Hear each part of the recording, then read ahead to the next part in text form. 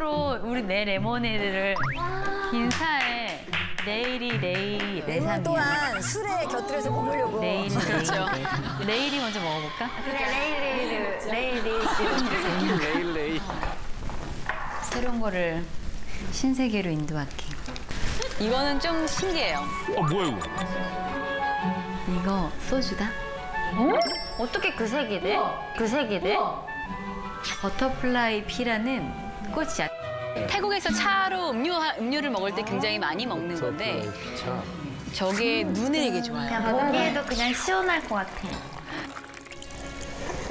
이렇게 되면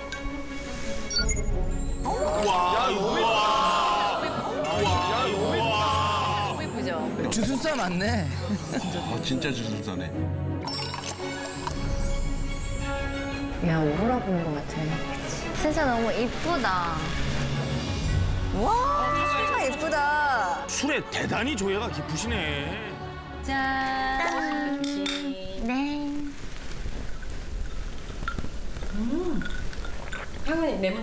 어, 별로 소주 향 안 나는데?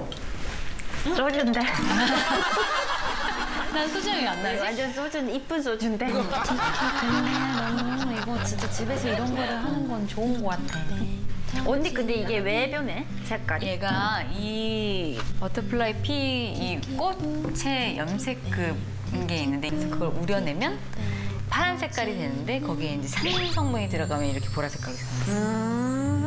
아 그래서 레모. 아, 아니 근데 내가 이 판스토랑을 이거를 뭘 대체 뭘 지금 고민을 많이 하면서 이걸 만들었는데 뻔한 거밖에 잘 안 떠오르는 거지. 그렇지, 그렇죠. 처음에 다 그러죠. 싶어갖고.